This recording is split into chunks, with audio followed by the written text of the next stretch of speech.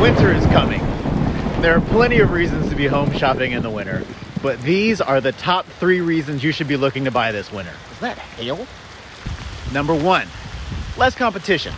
Nobody wants to be out in this weather, let alone looking for homes. You gotta wipe your feet off before you go inside. That's not fun, but it's definitely worth it.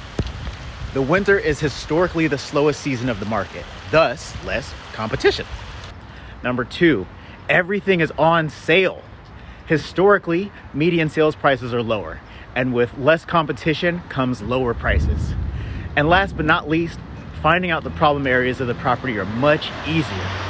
You can find out the actual condition of the home when it's raining. And because the roof and foundation are two of the most important parts, you need to know whether or not there's water inside or under your home. And if so, you know something's not right. It's always best to find out before buying than after. And if you want my full list of pros and cons, click the link in the bio.